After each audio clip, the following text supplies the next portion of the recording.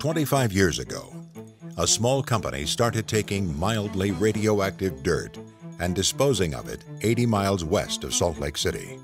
In the years since, that waste site has transformed into America's busiest nuclear dump, taking 95% of the nation's low-level radioactive waste, most of it from nuclear reactors. Over the years, Heal Utah and our supporters have successfully blocked Energy Solutions when the company tried to bring every shred of the nation's nuclear waste to our West Desert. We stopped foreign waste. We stopped hotter waste. We kept the dump from growing larger. But in 2014, we faced by far our biggest fight over nuclear waste. It's depleted uranium, a dangerous material left over from making nuclear weapons and nuclear reactor fuel. Unlike the Class A nuclear waste allowed in Utah now, depleted uranium doesn't become slowly less radioactive until it's fairly safe in a century or two. Nope, depleted uranium is different. It not only stays dangerous, it gets more dangerous. Not just over centuries, or even millennia. The waste grows more and more radioactive for more than two million years. Unfortunately, due to a colossal loophole in the regulations, this nasty waste could find a permanent home in our West Desert if Energy Solutions has its way.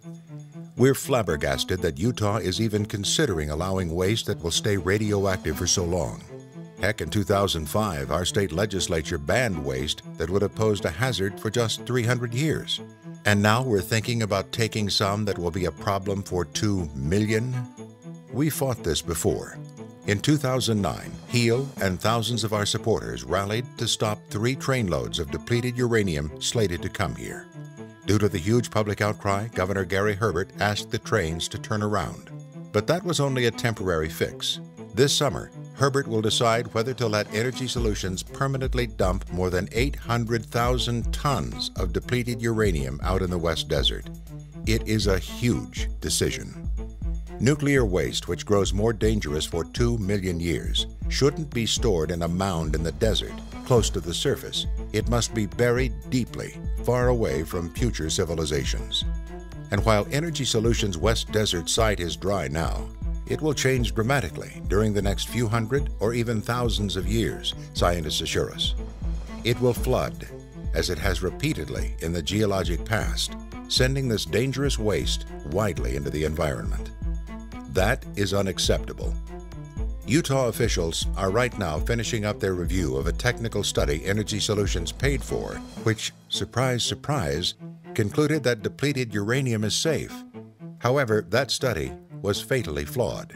It ignored key scenarios that would have shown clearly that the waste is way too dangerous for Utah. We need Governor Herbert and his administration to make the right decision to protect Utahns for literally thousands of generations to come.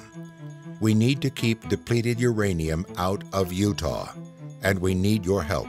Please go to www.healutah.org slash stopdu to find out what you can do.